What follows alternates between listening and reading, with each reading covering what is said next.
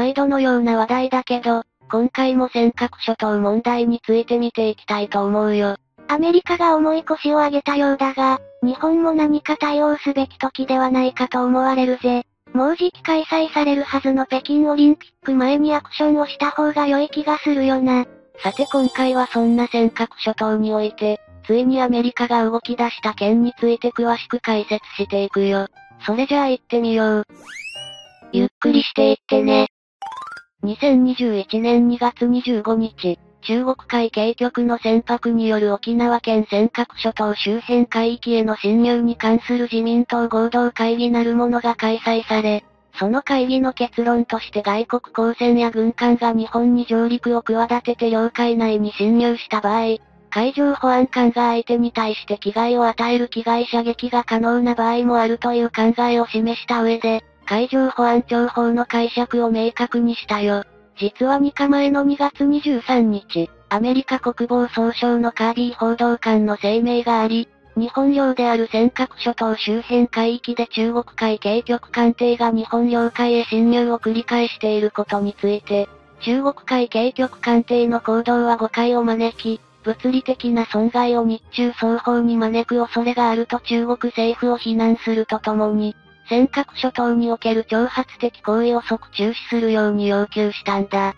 追加として彼はアメリカは尖閣諸島における日本の主権を支持すると発言したことから、日本国内では尖閣諸島について日本の主権をアメリカが認めた発言だとして大きな好感を持って受け取られたね。こういった流れを受けた上での危害射撃容認発言だったんだけど、アメリカがバックアップしてくれたと喜んだのもほんのつかの間だったんだ。中国がアメリカ高官の発言を黙って聞き逃すはずはなく、カービー氏の発言に対して翌24日、中国外務省の王副報道局長が反論を展開しており、徴与島諸島尖閣諸島の中国名は中国固有の領土。アメリカと日本による安全保障条約は東西冷戦時の産物であり、第三国である我が国の利益を損なうことは許されない。東シナ海地域の平和と安全を脅かす事態は許されないと記者会見で主張し、アメリカと日本を牽制したわけだな。中国の意見にビビったわけでもないんだろうが、2日後の26日、再び記者会見をしたカービー報道官は、23日の尖閣諸島の主権は日本にあるという発言を訂正しただけでなく、尖閣諸島の主権に対するアメリカ政府の方針は従来と変わらないとしたぜ。つまり今までアメリカ政府は尖閣諸島について日本の施設権は認めるが、主権はうやむやで日本領とまでは認めないと言っていたんだが、その立場を継続するということだったな。彼はさらに日本アメリカ両国首脳による電話会談で確認されたように、日本の防衛に対するアメリカの関与は、尖閣諸島を含む日本本土防衛に協力することを規定した日米安全保障条約第5条に基づくものであると発言したね。アメリカの立場は従来と変わらず、日本へ肩入れするわけでなく、経済的に強い結びつきのある、中国の面目を潰すわけにもいかないということで、どっちつかずのままということなんだ。日本に何かあった時にもどっちつかずなのかと心配してしまうよな。1年遅れの東京2020オリンピックはコロナウイルス蔓延を尻目に、2021年7月から国民の不安や不満をないもののようにみなして開催されたね。この東京オリンピックの期間中は中国艦艇の動きは一時静かになっていて、世界の目が東京日本に向けられていた時期だから、余計なことはしなかったんだと思うよ。しかし、オリンピックが終わり、秋になると再び連日の中国海警局艦艇が接続水域及び領海への侵犯が続くようになり、11月19日には海警局艦艇4隻の領海侵入があり、2021年では31回目となったぜ。この行動に背景として推理されたのが、11月9日の空自とアメリカ空軍の訓練で、空自のヘリコプターやアメリカ空軍のオスプレイなどの航空機が尖閣諸島付近海域で捜索、救難訓練を実施したな。この訓練も尖閣諸島や台湾有事を念頭に置いて実施されたものだと話題になっていて、中国が艦艇4隻を一度に領海侵犯させたのはこの訓練に対する牽制だったのではという見方をする意見が多いらしい。ここで尖閣諸島について改めて説明していくんだけど、石垣島の北西約 170km に位置する尖閣諸島は、行政区分は沖縄県石垣市に属しているよ。諸島だから、魚釣島、北小島、南小島、久場島、大正島などがあり、この一帯を尖閣諸島と呼んでいるわけで、古くは鰹節工場があって、日本人が居住して作業していたみたいだけど、第二次世界大戦後中に引き上げ、1940年昭和15年以降は全ての島に人はいないんだ。現在は久場島と周辺小島は私有地になっていて、その他の島々は国有で、久場島と大正島は日米地位協定に基づきアメリカ軍に提供された形になっているね。1895年明治28年1月、日本が尖閣諸島を沖縄県に編入して以後、領土として支配していたんだけど、太平洋戦争で敗れたため、沖縄がアメリカの統治下に置かれたことで、沖縄県に属する尖閣諸島の行政権が停止されてしまったんだ。1951年昭和26年9月、サンフランシスコ平和条約において、日本は台湾と宝庫諸島の領有権を放棄していて、その際、尖閣諸島を含む南西諸島は日本領として認められたんだけど、アメリカ統治下に置かれる状態は継続することになり、当時の中国と台湾はこの事態に異議を唱えることはなかったということは、形の上では尖閣諸島が日本領であることを認めていたということになるんだよね。アメリカと日本が尖閣諸島を含む南西諸島を日本に返還する沖縄返還協定に、署名したのが1971年昭和46年6月で、翌年沖縄は日本に返還されたな。それまでは日本でありながら、本土への移動にパスポートが必要だった沖縄の人たちの長年の願いが叶った時だったぜ。ところがこの沖縄返還直後から、今まで尖閣諸島については何一つ触れたことのなかった。台湾と中国がそれぞれ自国に領有権があると主張し始めたわけだ。まず台湾の主張だけど、1895年明治28年に締結された日清戦争後の下関条約により、台湾と尖閣諸島などの当初が日本領になったものの、1951年昭和26年のサンフランシスコ条約によって中華民国の貴族とされたんだ。この事実があるため、アメリカが勝手に尖閣諸島の施政権を移したこと、中華民国である台湾の領有権とは別物であると主張したわけ。一方の中国の言い分は、尖閣諸島は明時代の古文書に記されていること、中国大陸の歴代王朝君主は領土に尖閣諸島を含めてきた歴史的事実があることを理由に、従来は中国の教科書に尖閣群島と記載してきたものを1971年12月の尖閣諸島領有権を主張する声明に合わせて長与大列島と表記を変更しているよ。明の時代は1368年から1644年まで続いた長期政権で、1368年といえば日本は室町幕府足利義満の時代だな。そして1644年は江戸時代初期で島原の乱の7年後ということになり、そんな昔のことを根拠にされても、と思うし、だったら古事記や日本書紀を持ち出してもいいのかと思うところだぜ。台湾と中国が1971年にいきなり尖閣諸島の領有権を主張し始めた理由は2年前にあり、1969年5月、国連アジア極東経済委員会が東シナ海の学術調査結果を発表したんだけど、その中に尖閣諸島を含む広大な地域に石油が埋蔵されている可能性があるという報告があったんだ。数年後の1973年の第一次オイルショックは有名だけど、石油は今以上に貴重な資源とされていて、太平洋戦争の原因の一つとも言われているよね。その石油が埋まっているかもしれないということで、尖閣諸島が脚光を浴びることになったわけだな。アメリカも沖縄だけでなく尖閣諸島を含む南西諸島を日本に返還する動きがあるらしいとされたから、石油を日本に奪われてはならないという、そんな思いもあったのかもしれないぜ。台湾を自国領として完全に支配しようとしている中国からすれば、沖縄の在日アメリカ軍や先島諸島駐在の自衛隊にプレッシャーをかける意味でも尖閣諸島占有が重要なポイントになり、台湾侵攻と同時、もしくは直前に尖閣諸島を占拠して軍事拠点化する可能性が高いと推測されているからな。様々なことを考えると、尖閣諸島問題について政治的対話による解決はもはや不可能と思われ、残念ながら中国が実効支配への足固めをしている着々と進めている現状では、自衛隊を尖閣諸島に駐在させることによって、領有権を主張することがまずやるべきことかもしれないね。同時に、アメリカはもとより、世界の国々に日本の主張を訴えていくことも必要だと思われるよ。それじゃあ今回はこの辺で、よかったら、チャンネル登録してね。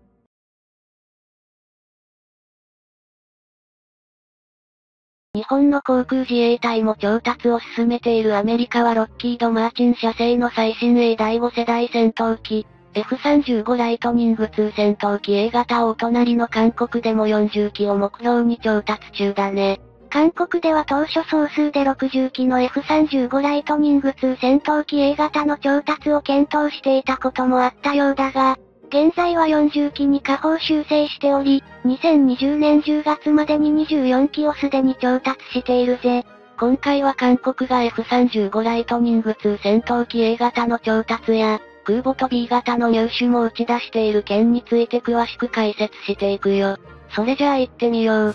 ゆっくりしていってね。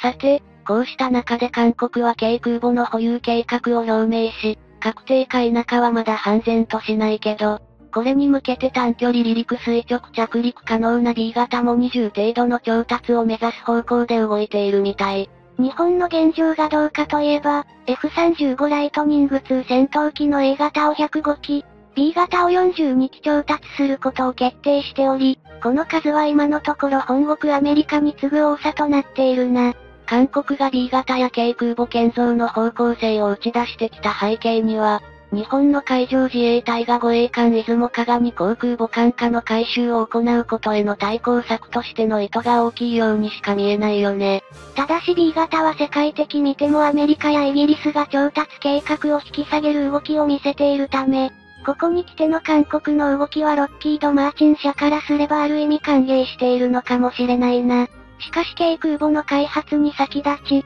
韓国側が要求したとされる設計の前提に必要となる情報の開示を、ロッキード・マーチン社は契約後にしか明かせないと当然の対応を見せているのも事実だぜ。そもそも韓国は現在保有している独都級強襲揚陸艦の後継艦に、従来は3万トン級の大型輸送艦建造を表明していたけど、これは中国に空母保有だと思わせない配慮だと見られていたからね。それが日本の海上自衛隊が護衛艦出雲加賀の航空母艦化を明らかにしたことから、その対抗上としてなら中国の機嫌を損ねることなく、大手を振って空母保有が可能と考えたんじゃないかな。周囲を広い領海で囲まれた日本からすれば、中国軍の脅威に対して南西諸島の防衛には限られた陸上拠点からだけでなく、出雲加賀によって運用される B 型の必要性も頷けるよ。ただでさえステルス性能の向上のため、燃料搭載量の限られた F35 ライトニング2戦闘機は、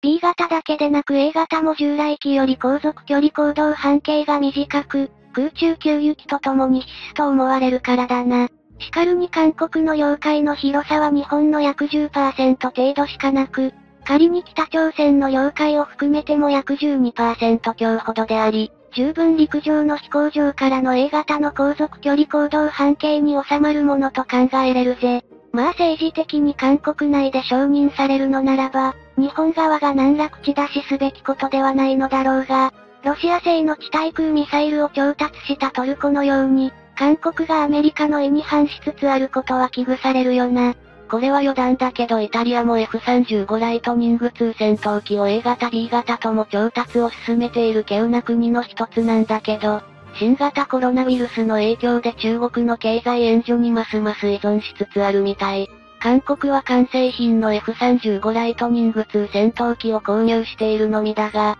イタリアはヨーロッパ各国向けの動機の組み立て製造やメンテナンスを行う拠点 FACO を日本と同様に有しているよ。これを考慮すればイタリアから F35 ライトニング2戦闘機に関する中国への情報漏洩もかなり危険性が高いのではないかと感じられ、韓国同様にその意味で日本にとっては脅威に思えるね。さてイタリアの件で触れたように日本では三菱重工業が、愛知県に F35 ライトニング2戦闘機の組み立て製造やメンテナンスを行う拠点の FACO の開設を行っており、アジア地区の同機の整備を担当するんだ。搭載するソフトウェアの更新で最新の能力を付与されていく F35 ライトニング2戦闘機には、日々のメンテナンス以外のアップデートは必ずこれらの拠点で実行することが求められるな。ここにおいても韓国は言うまでもなくアジアの F35 ライトニング2戦闘機保有国なわけだが、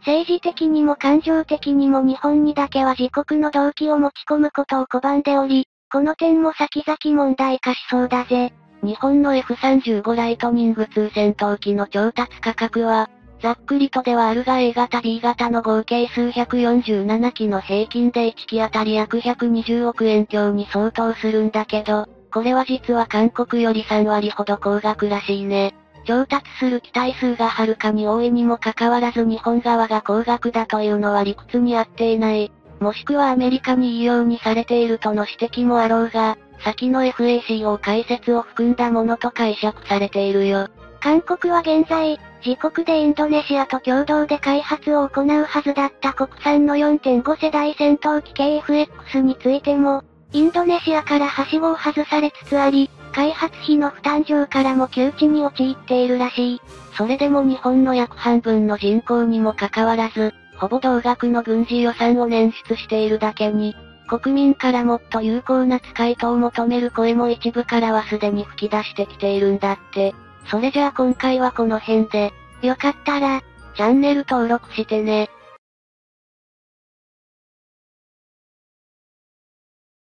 スターリングエンジンを搭載した潜水艦の建造はそろそろ終わりになるみたいだね。そんな中、日本の最新鋭潜水艦白芸の進水式は無事に迎えることができたぜ。ここでオーストラリアが源泉導入計画を発表したが、それに刺激を受けたのか、いよいよ日本も源泉を導入するのかという噂が流れ始めているようだな。大芸潜水艦もいよいよ収益する予定だし、日本は通常動力型潜水艦でトップの性能を誇り、戦略的にも潜水艦では世界屈指と定評があるんだ。大芸の先行深度はもちろん非公開だが、各国をはるかにしのぐ深さまで先行可能ということは事実だな。さて今回は、海事潜水艦の22隻体制について詳しく解説していくよ。それじゃあ行ってみよう。ゆっくりしていってね。2021年10月14日午後、海上自衛隊としては大芸型潜水艦の2番艦である艦艇の浸水式と命名式を同時に行う予定になっていて、式典の場所は現在建造を担当している川崎重工業者神戸工場と予定されているね。大芸型1番艦でネームシップである大芸は、この神戸造船所でちょうど1年前の2020年10月に浸水式と命名式が終わっていて、現在は最終偽装中で、2022年3月には引き渡しされると考えられているんだ。大芸は引き渡し後、海事による海上行使等の上、実戦配備されることになり、2013年平成25年の防衛計画大綱に稼働潜水艦22隻の運用体制の構築と謳われていたけど、この組織目標をまず達成することになるわけだね。この防衛計画大綱だが、世界で6番目に広い領海を持つ日本において、防衛に必要な潜水艦の数を計画として定めていたもので、今は22隻体制となっているが、それ以前には16隻体制を構築することによって広い領海をカバーする戦略が決定されていた状態だったぜ。それにしても、世界で6番目というくらい日本の領海は広いわけだが、日常的には全くと言って良いほど感じないよな。平成25年の防衛計画大綱で潜水艦16隻体制から22隻体制へと6隻増加を打ち出した背景を説明すると、やはり中国が原因で、近年海洋進出が著しい中国海軍への備えを強めざるを得ないという政治判断学だったわけだよ。しかも、この判断はますます強化されている傾向にあることは言うまでもないよね。もちろん、これは中国が艦艇を南シナ海や台湾海峡、尖閣諸島を含む南西諸島方面へ出没させていることがあり、その数は年々増えていることもわかると思う。中国は今まで以上のスピードで心臓艦をこういった海域日本の領海も含むに投入してきているから、この現状を考えれば当然の対応と判断せざるを得ないと思われるな。海上自衛隊はヘリコプター搭載型護衛艦である出雲や加賀を航空母艦に変えるために改修工事を予定していて、その後に F35 ライトニング 2B 型戦闘機を艦載機として軽空母のように運用する対策も同時進行中なんだけど、やはり中心戦力となるのは潜水艦だろうね。前述したように2022年3月、最新型大芸が海事に引き渡されることによって潜水艦22隻体制が確立することになり、内訳は大芸型1隻、総流型12隻、親潮型9隻ということだよ。この中で親潮型は1998年平成10年から収益していて、かなり息の長い艦といえ、約70名の乗組員を要する通常動力型潜水艦で、サイズは基準排水量2750トン、水中排水量3500トン、全長82.0メートル、全幅8.9メートル、深さ10.3メートル、喫水7.4メートルなんだ。この艦の機関は、ディーゼルエンジンと鉛製蓄電池、発電機とモーターを備えているディーゼルエレクトリック方式で、親潮型は計11隻が建造されたんだけど、そのうちの1番艦と2番艦は練習艦に変更されているため、実戦に配備されるのは9隻ということになるね。総流型は2009年平成21年から収益していて、乗組員は約65名。サイズは基準排水量が2900トンから2950トン、水中排水量4200トン、全長84.0メートル、全幅9.1メートル、深さ10.3メートル、水8.5メートルだから、親潮型より少し大きいことになるんだ。総流型は1番艦から10番艦までは非待機依存推進型のディーゼルエレクトリック方式を採用していて、これはディーゼルエンジンと鉛製蓄電池、発電機とモーターにスターリング機関を備えた機関で、その当時は最新機関と注目されたんだ。しかし、総流型11番艦応流からは、スターリング機関の搭載を中止しており、代わりにディーゼルエンジンとリチウムイオン製蓄電池、発電機とモーターを備えた構成となり、非待機依存推進型ではなくなっているぜ。スターリング機関の搭載を止めたことで OU 以後の性能は、カタログデータ上ですが水中の時空巻からは8000馬力から5600馬力へ、水中最高速度は20ノットから18ノットに低くなった形ではあるが、使用する上での水中性能の持続力は逆に増大したと言われているな。というのは、出力の割には重量があるスターリング機関を外したことで、水中運用自由度が増加したことと、限られた潜水艦内にスペースが確保できたというメリットが出てきたからとされているわけだ。OU は初めてリチウムイオン蓄電池を実用として採用した潜水艦になっていて、リチウムイオン製蓄電池の特徴としては、従来の鉛製蓄電池よりも大電流大容量ということだね。しかし、物事には表と裏があるように、デメリットも確かに存在していて、それが小型家電製品などで事故が多発していたように、リチウムイオン電池は発火しやすいという点だよ。リチウムイオン電池を使っているスマホから発火したというニュースがあるしな。この危険性を防いだのが、日本の GS ユアサ社のテクノロジーや艦隊そのものへ対策を施すことで実現したわけだ。ただし経費の面では今までのものより高額になっていて、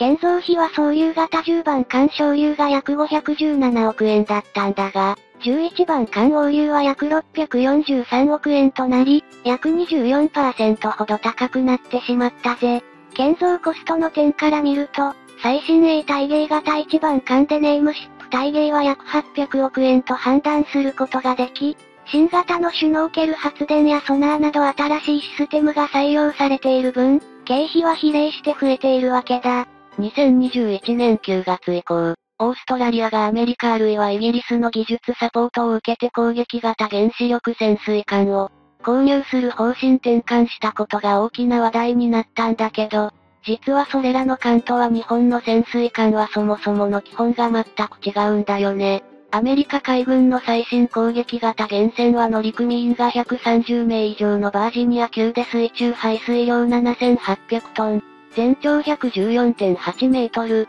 全幅10.4メートル、喫水が9.3メートルという大型潜水艦なんだ。なんといってもこのバージニア級は、源泉ですから水中の最大速力も30ノットを軽く超えると見られており、オーストラリアはこのスピードとそれによって拡大する行動範囲の広さ、トマホーク対地巡航ミサイルによる長距離対地攻撃能力が欲しかったものと推測できるぜ。今まで原子力の軍事利用をオーストラリアは日本同様に施行してはいなかったが、しかしこのオーストラリアの路線変更が刺激死となったのか、一部から源泉の保有を検討すべるべきではないかという主張が湧き出してきた空気もあるな。しかし、まず冷静に潜水艦の用途を再検討することから議論を始めるべきではないかと考える声もあるみたい。良いことずくめのようなバージニア級潜水艦だけど、建造にかかる経費は1隻約3000億円とも噂されているし、最新鋭の体芸型が約800億円だから、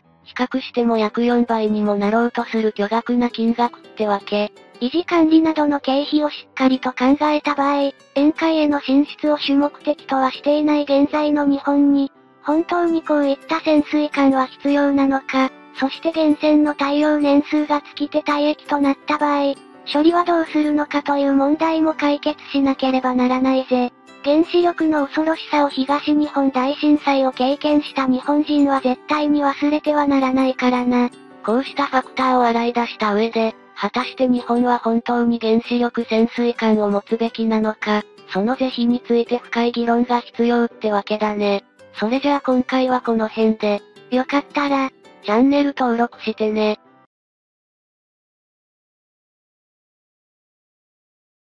韓国空軍、訓練中の戦闘機 F35A の事故の原因が発表され、何か隠しているような言い訳のような？疑問の残る原因となったね。戦闘機 F35A の定期的なメンテナンスは言っていたのか、アジアの整備拠点である日本での整備を拒否して、なぜ経費をかけてまでわざわざ遠いオーストラリアまで持っていくのか、今後、事故機を修理するのか、気になるところばかりだな。そうだね。今回はそんな戦闘機 F35A の事故について詳しく解説していくよ。それじゃあ行ってみよう。ゆっくりしていってね。2022年3月3日、韓国空軍によると、1月4日に発生した訓練中の最新鋭ステルス戦闘機 F35A ライトニング2が、中西南道の蘇山基地に胴体着陸した事故について調査の結果、バードストライクが原因であったと発表したよ。訓練飛行中であった F35A はチョンジュ基地を離陸し、空対地ミサイルの射撃訓練に向かう途中、およそ330メートルの高度で飛行中に機体の左側のエアインテーク空気の出入り口に和紙が衝突したんだ。エアインテークから吸い込まれた和紙はウェポンベイ機体内部総積載室との間にある機体の遮断壁まで突き破り戦闘機内部まで取り込まれ、電子系統の異常により着陸装置ランディングギアが作動せず胴体着陸したことが分かったってわけ。ウェポンベイ機体内部総積載室内部に着陸装置ランディングギアを作動させる油圧パイプや電源供給配線があり、和紙と衝突したことにより、それらが損傷しランディングギアが作動せず車輪が出なかったとしているな。また、韓国空軍によると調査の結果、バードストライクにより破損した箇所以外で戦闘機の欠陥や不備、パイロットの操縦による過失は見つかっていないと説明しており飛行再開にあたり、パイロットや整備士に対し注意喚起と教育に努めるとしているぜ。F35A のメーカーであるアメリカのロッキード・マーティン社などと共同で正確な事故原因を調査し、機体内部総積載室に衝撃が加わった際の衝撃を最小限に抑えランディングギアの正常作動、補助作動システムが独立する構築案を協議する計画みたい。韓国空軍関係者によるバードストライクに関する衝撃の大きさだけど、燃料を搭載して20トンを超える航空機が 10kg の鳥類と衝突して受ける衝撃量を換算してみると約30トンだったと説明しているよ。しかし、F35 戦闘機自体が何かに衝突した場合、もちろん搭載燃料などの質量が関係するが、今回の場合は 10kg の鳥類が時速 900km で衝突したと説明するのが、望ましいのではないかとの指摘があるらしい。朝鮮日報によると F35 の時速は 900km とのこと。この事故については同じ内容の記事が多く報じられているが、日本のインターネット上においては不自然な点が多く信憑性に欠けるとの声もあるらしい。F35A 戦闘機は、エアインテーク空気の出入り口の後ろにウェポンベイ機体内部装積載室が、存在しその後ろに着陸装置ランディングギアがあり、本当に 10kg の和紙が時速 900km で衝突したのなら、大きな衝撃で機体が損傷することはあってもウェポンベイのさらに後ろの外側にあるランディングギアが作動不良になるものか考えにくいからね。時速 900km もの速度で衝突した和紙の重量が 10kg であったなどどのような状況でその判断ができたのかも不明だし、本当に和紙がいたのならおそらく鳥の姿は確認できないほどバラバラになっていたはずだよ。事故当日、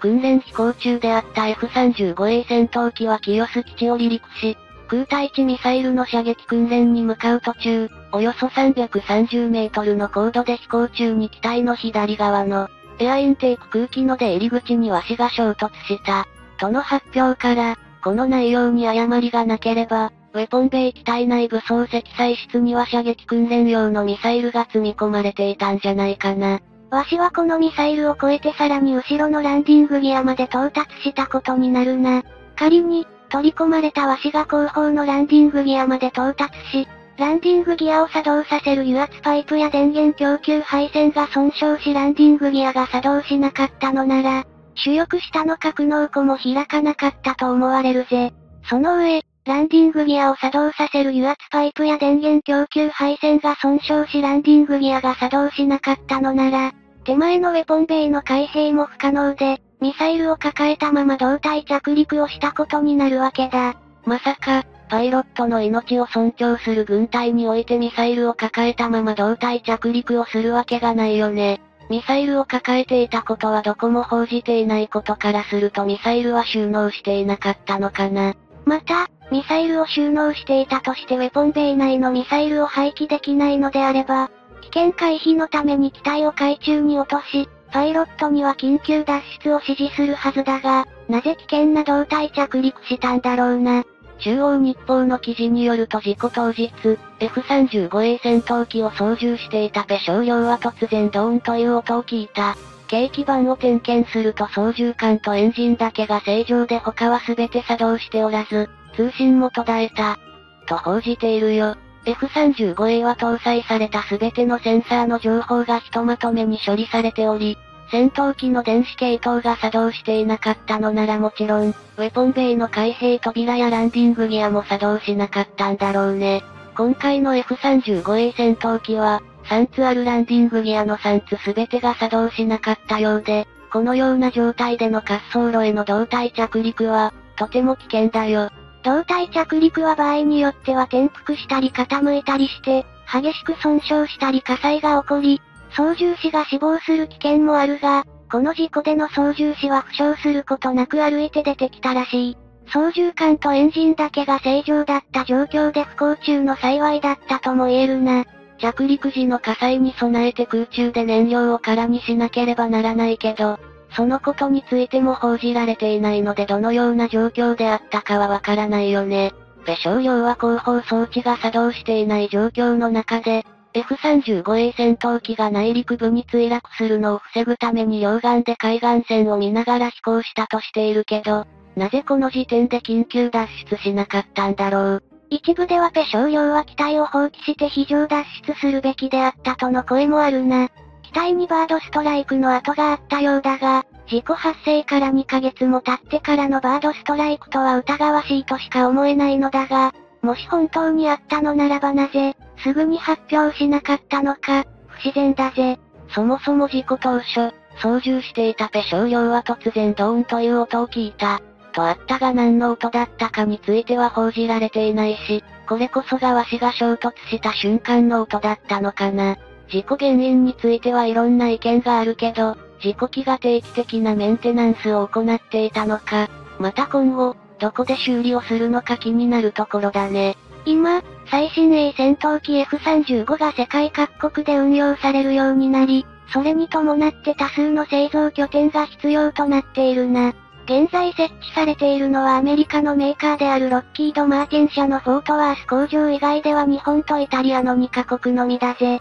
日本は名古屋にある三菱重工用の F35 最終組み立て検査施設 FACO がありアジア太平洋地域の国際整備拠点 MRO&U だね。F35 ライトニングは一定の時間飛行したら機体を分解、整備するメンテナンスを受けなければならず、このメンテナンスを行うために設置されたのが国際整備拠点 MRO&U だよ。そのステルス性能など各種性能の維持やブラックボックスなど、触ることが許されており、メンテナンス修理オーバーホールアップグレード作業を行えるのがメーカーであるロッキード・マーティン社と国際整備拠点 MRO&U のみってわけだ。MRO&U メンテナンスリペアオーバーホールアップグレードはアメリカ本国の他にはイタリア、日本、オーストラリアに設置されているぜ。韓国は日本を敵国とでも感じているのか。アジアで運用されている F35 戦闘機の整備拠点が日本の日本の、三菱重工業名古屋航空宇宙システム製作所小牧南工場なのにもかかわらず日本においての整備を拒んでいるよ。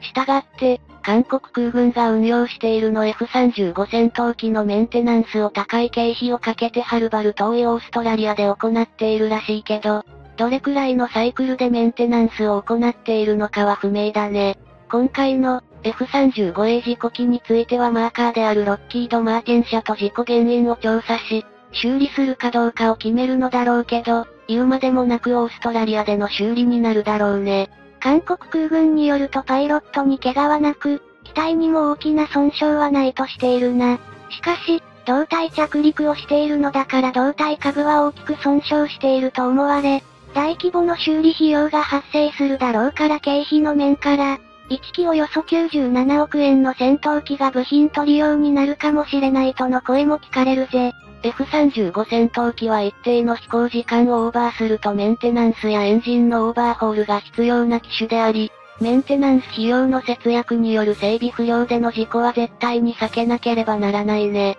それじゃあ今回はこの辺で、よかったら、チャンネル登録してね。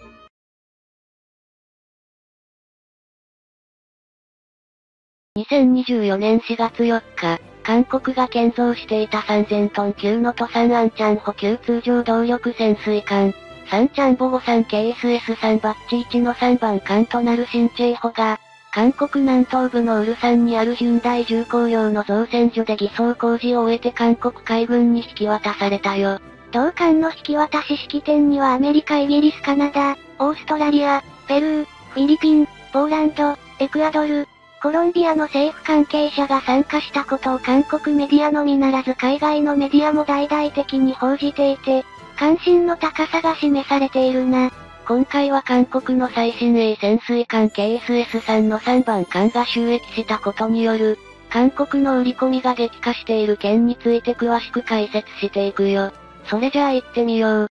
ゆっくりしていってね。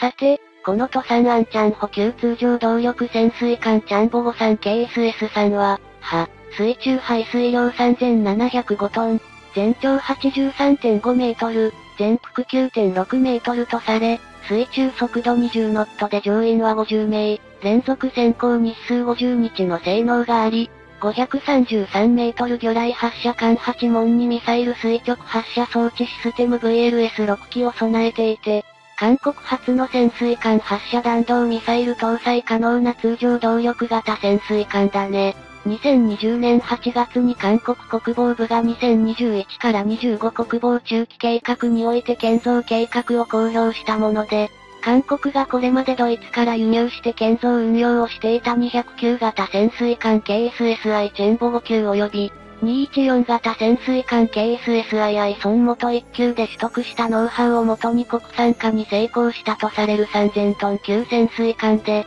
戦闘システムやソナー水中音波探知機など潜水艦の重要な装備を国産化したとしているほか、潜航時間を長くする非待機依存推進 AIP システムを備え、地上の標的に対する精密攻撃と極秘作戦の安定的な遂行が可能であるとして韓国国防部では、独自技術で開発した世界最高レベルの潜水艦であると主張しているよ。同艦の VLS には韓国が独自に開発してすでに実戦配備されているとされる。現部 3C 対地攻撃用長距離巡航ミサイルを潜水艦発射用に改造したものが搭載可能とされるみたい。しかしながら、この現部 3C シリーズは射程 1500km の巡航ミサイルで、対北朝鮮を牽制するミサイルとされているのであるが、韓国本土から北朝鮮全土だけでなく中国の北京も射程内に入れることが可能であることから、相手潜水艦に搭載せずとも陸上に移動式の発射台があればこと足りるとして、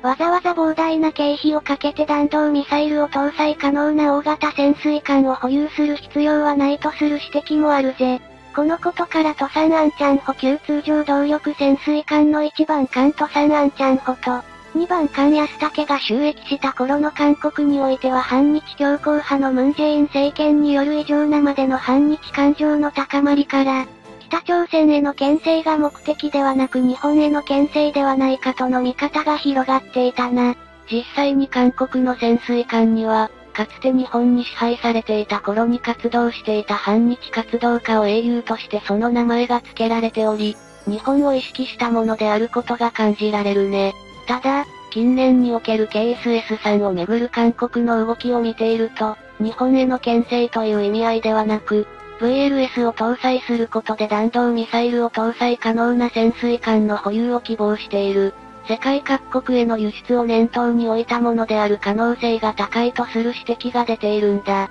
KSS さんのバッチ位置は今回収益した3番艦新チェイホで建造終了となり、次級は排水量が3600となって VLS が6機から10機に増やされるバッチ2が2025年から建造される予定となっていて、今回招待されている9カ国の海軍関係者はその建造施設見学が予定されているとされ、韓国側は自国潜水艦の売り込みに躍起となっている様子が伝えられているよ。これまでの韓国側の具体的な動きとして、アメリカに対しては造船業界への投資を進めているほか、子会社の設立などを通してアメリカの造船業界への進出しようとする動きが見られるほか、イギリスのバブコックインターナショナルグループとの間で KSS さんの海外輸出での提携を深めていることが報じられ、さらにカナダ、ポーランド、フィリピンには KSS さんバッチ1の売り込みが盛んであることも知られているんだ。さらにペルー海軍においては韓国のフリゲート艦や大型哨戒艦 OPV 揚陸艇などの建造についてパートナーとして選定され、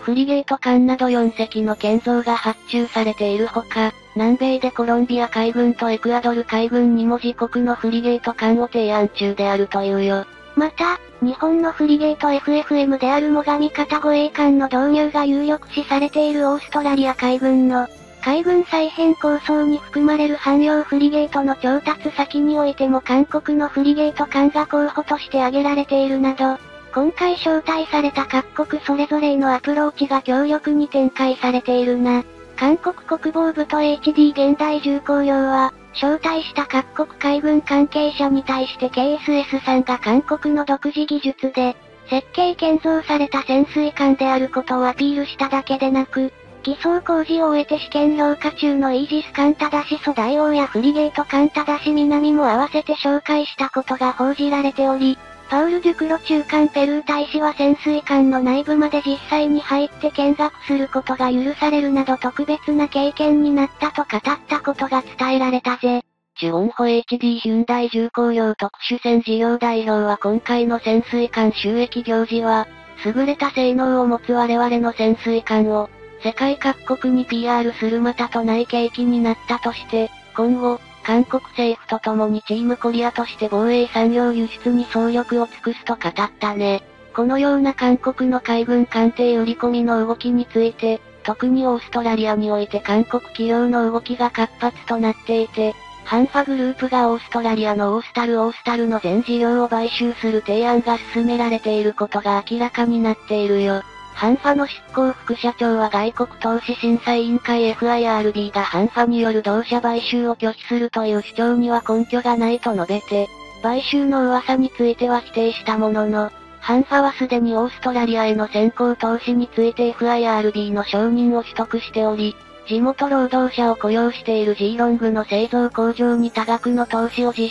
しているとして、歩兵戦闘車両や自走榴弾砲に弾薬補給車などの契約サプライヤーとしてオーストラリアの防衛産業基盤への確かな投資実績があるとしており、オーストラリアの防衛産業にすでに深く食い込んでいることを明らかになっているんだ。また、今回の式典に招待されている国の中でカナダでは、現在運用しているビクトリア級通常動力潜水艦の老朽化から後継艦種の検討に入っていることが伝えられており、カナダ国防省がこれまでに明らかにしている情報によると、2023年8月31日にビクトリア級潜水艦の後継艦について調達要件を満たす潜水艦保有国の企業や海軍などの協力を得て調査を行っており、次期潜水艦導入のためのプロジェクトチームはフランス、ドイツ、スペイン、スウェーデン、韓国、日本と連絡を取っているとして、2034年までに退役が予定されている4隻のビクトリア級潜水艦の後継艦として、最大で12隻の新型通常動力型潜水艦を調達して、同国の東海岸と西海岸に6隻ずつを配備したいとしていて、カナダ政府に予算編成を訴求しているというぜ。現状においてカナダ側から具体的なアプローチはない模様だけど、日本の対芸方が有力視されているほか、韓国の KSS さんも有力であるとする見方もあり、韓国側のアプローチによっては、かつてのオーストラリア海軍への総流型潜水艦の売り込み失敗が再現される可能性を指摘する声が高まっているみたい。それじゃあ今回はこの辺で、よかったら、チャンネル登録してね。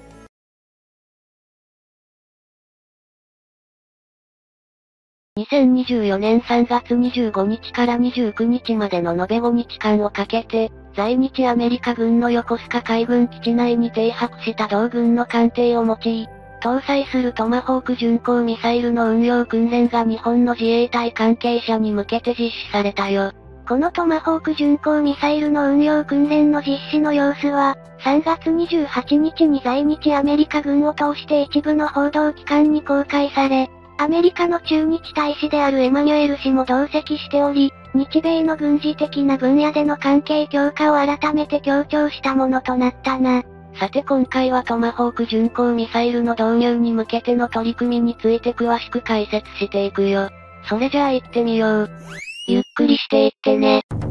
さて、エマニュエル氏は九段のトマホーク巡航ミサイルの運用訓練に対して、日本とアメリカ両国の抑止力を向上させること、太平洋方面における軍事行動の信頼性の向上に寄与することをポイントとして報道陣にコメントを発しているんだ。政治的には来月の2024年4月10日に日本の岸田総理が渡米し、アメリカの首都ワシントンにおいて同国のバイデン大統領との会談を行う中でも日米の軍事的な連携の強化が議題に上るであろうことも示唆されたな。日本政府としては従来までは敵基地攻撃能力と称されてきた、トマホーク巡航ミサイルのような長距離打撃兵器を政治的には反撃能力と言い換えることで、その取得保有運用を定常化させる姿勢を示しているね。自衛隊側では今回のアメリカ海軍の艦艇において搭載するトマホーク巡航ミサイルの運用訓練に際しては、海上自衛隊員はもとより航空自衛隊員も含め参加を行ったとされていて、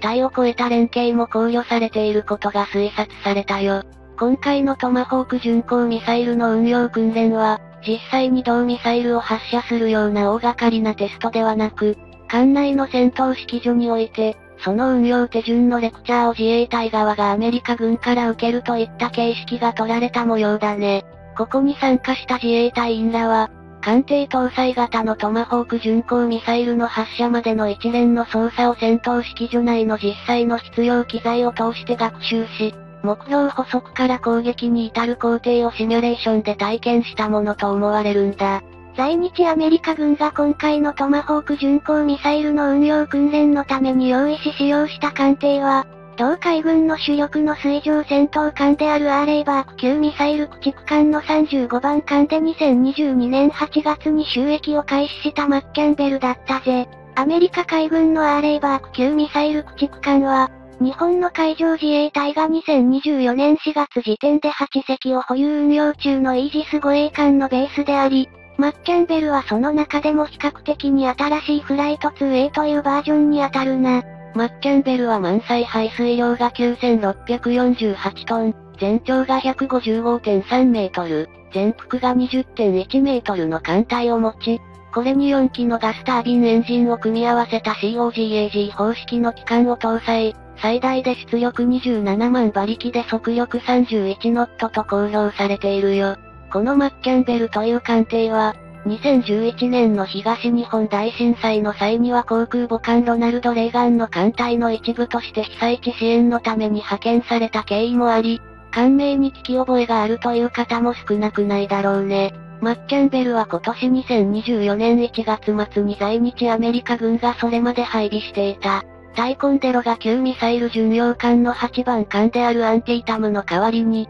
近代化改修を施された後に日本へと配備された状態だったんだ。アーレイバーク級ミサイル駆逐艦のフライト 2A としてマッキャンベルは、兵装にマーク、41モッド、7VLS を96セル実装しており、ここから今回の訓練の対象となったトマホーク巡航ミサイルも運用する能力を有しているぜ。前述したように海上自衛隊が保有運用中のイージス護衛艦は8隻だが、その内訳は混合型が4隻、アタゴ型が2隻、マヤ型が2隻となっており、日本でもこれらがトマホーク巡航ミサイルの搭載の対象となることは間違いないだろうな。これら海上自衛隊の8隻のイージス護衛艦は、近年は主任務として北朝鮮の各種のミサイルを迎撃するためのミサイル防衛の要と位置づけられてきたけど、日本を取り巻く安全保障環境が悪化する中でその役割は多様化してきているように思えるよね。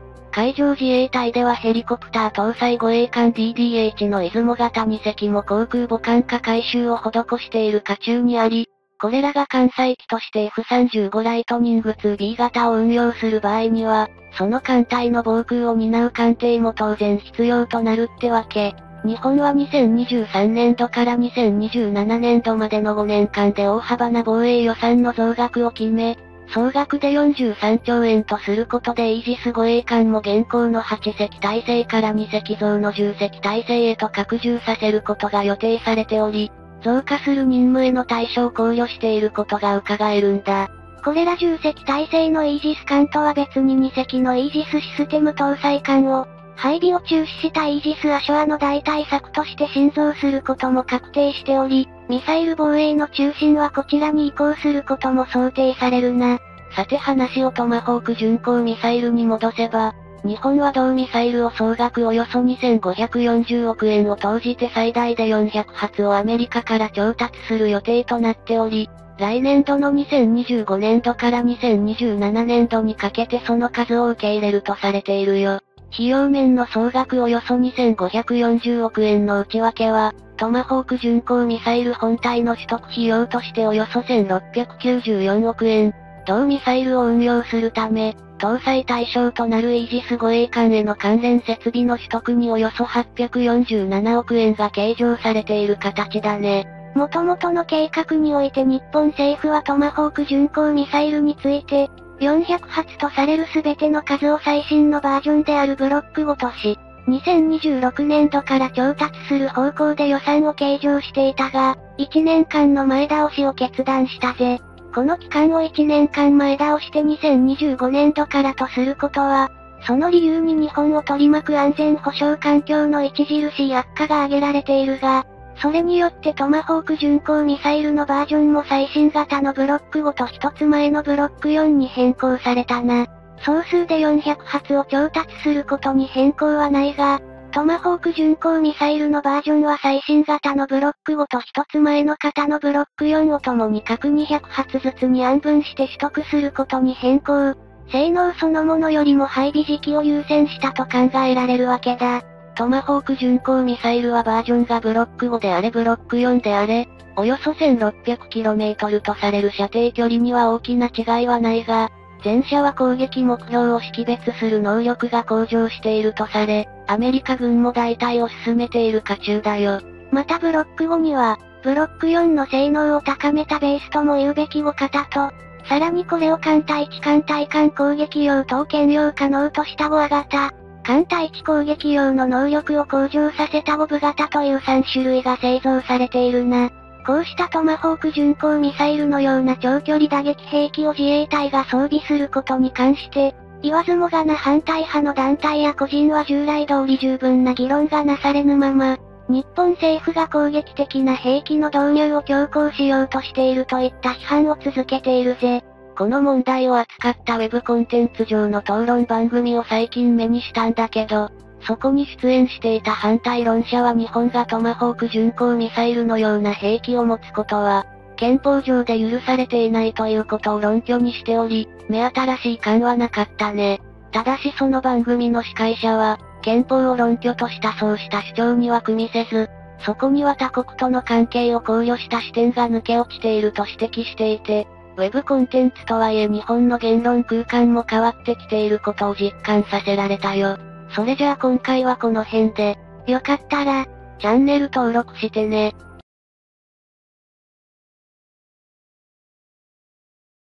今年2024年2月、オーストラリアが増強を続ける中国の海軍力への対抗策として、自国の海軍戦力の再整備計画を打ち出し、その中には汎用性の高い水上戦闘艦であるフリゲートを最大で11隻調達する内容が含まれていることが伝えられたよ。このニュースがことに日本で大きな反響を呼んだ理由は、その11隻のフリゲートの候補にドイツの MEKOA200、スペインのアルファ3000、韓国のテグ級とごして日本の最上型の名が挙げられていたという事実からだな。さて今回は海上自衛隊の最新鋭の水上戦闘艦最上型の今後について詳しく解説していくよ。それじゃあ行ってみよう。ゆっくりしていってね。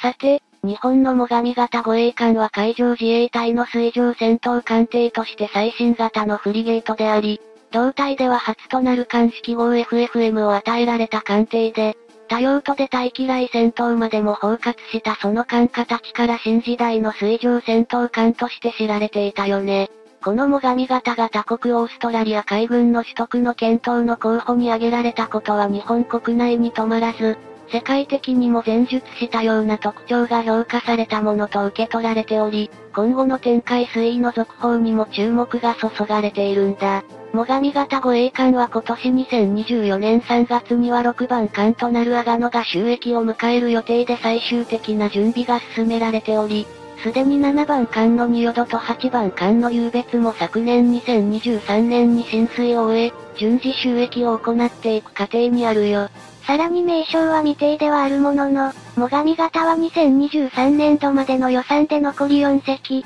トータルで12隻の建造が行われることが決定されており、これらも1年に2隻のペースで収益していく計画であることが明かされているな。最上型護衛艦は基準排水量で3900トン、満載排水量で5500トン、全長で133.0メートル、最大幅で16.3メートル、深さで9.0メートルの艦隊に、ガスタービン機関1機とディーゼル機関2機を合わせた CODAG 方式のエンジンを搭載しているぜ。この CODAG 方式の機関は最大で7万馬力の出力を誇り、これによって最大で30ノットの速力を発揮。ステルス性を重視した艦隊、およそ90名という消費とかを突き詰めた搭乗員数を実現しており、新たな護衛艦のあり方を示しているってわけだ。最上型は当初は前述した12隻という隻数ではなく、最大で22隻までの建造が示唆されていた時期もあったが、昨年2023年8月末にその隻数となることが打ち出され、以後はさらに新型の FFM の新造が実施されることとなったよ。この方針転換の理由は現時点では定かではないんだけど、最上型の紙幣層はアメリカ製のマーク。41VLS の16セルとされてきたが、新型 FFM ではこの数が倍増の32セルとなると目されており、より戦闘力を高めたものとなることが予想されているね。そもそも最上型はこの紙幣層たるマーク。41VLS の16セルも10番艦までは後日装備として建造時には搭載されておらず、建造当初より実装された状態となるのは11番艦と12番艦の2隻のみという、少し心もとない状況ではあったぜ。この点をしてオーストラリアが調達予定のフリゲート11隻に最上型の名が挙げられたとはいえ、戦闘能力に疑義を唱える声が一部から寄せられていたことも事実ではあるが、個人的には単に予算上の問題のように思えるな。従って最上型護衛艦が現時点で建造済みの艦艇に、紙幣装たるマーク。41VLS の16セルが搭載されていないことをもって、その戦闘面での運用に問題があるかのような言説はあまり意味をなさない抽象じみた指摘とも取れるよな。さてオーストラリアの件はさておき日本の新型 FFM の概要であるが、こちらは基準排水量で4880トン、満載排水量で6200トン、全長142.0メートル、最大幅17.4メートルの艦隊に、最上型と同様の CODAG 方式のエンジンを搭載する模様だね。この新型 FF が搭載する CODAG 方式の機関の出力などのスペックはまだ伏せられているが、最大速力は最上型と同等の30ノットが確保されると目されており、高速性能と燃費の両立を期としていることは間違いないみたい。新型 FFM は開示されたスペック上で最上型と比視して、基準排水量で980トン、満載排水量で700トン、全長で9.0メートル、最大幅で0.9メートルほど艦隊が大型化される予定であり、これを考慮すれば機関部も強化されるんじゃないかな。最上型で16セルであった紙幣層のマーク。41VLS は新型 FFM ではこうした艦隊の大型化もあって、前述した通り倍増となる32セルを搭載すると予想されており、対艦対戦対空対地の各分野の攻撃力の向上は間違いないぜ。願わくばも神型で10番艦まで後日装備とされた紙幣層のマーク。41VLS を、今後の新型 FFM では建造と同時に搭載されることを期待するが、防衛予算案の増額が図られらた今であればその点も考慮されるものと思いたいな。最上型護衛艦ではその企画に際して、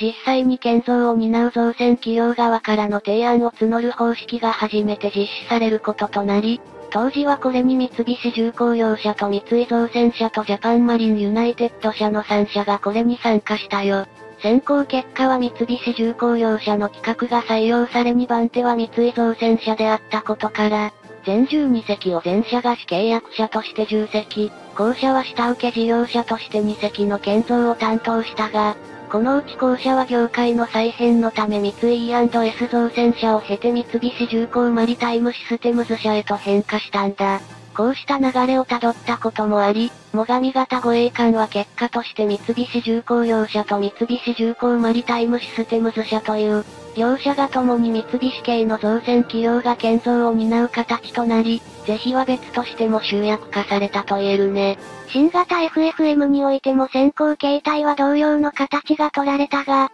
企画提案に参加を行ったのは三菱重工業社とジャパンマリンユナイテッド社の2社のみとなり、ここでも前者が主契約者の座を獲得し、後者は下請け事業者となったぜ。ジャパンマリンユナイテッド社といえば、今まさに航空母艦化改修の渦中にあるヘリコプター搭載護衛艦艦種記号 DDH のいずも型2隻を、建造した実績を持つことでもよく知られているが、日本の護衛艦の建造は今やこの2社しか請け負えないとも言えるな。こうした状況は日本の防衛産業全体を俯瞰してみた場合には、選択肢が減少してしまうという由々しき事態ではあると思えるが、特殊な産業でもあるため、建造に実績を要求することは避けられず、今後も新規参入は困難だろうね。新型 FFM は防衛予算上では2024年度分から2028年度分までの5年間で12隻を建造することとなっており、主契約者である三菱重工業社が8隻、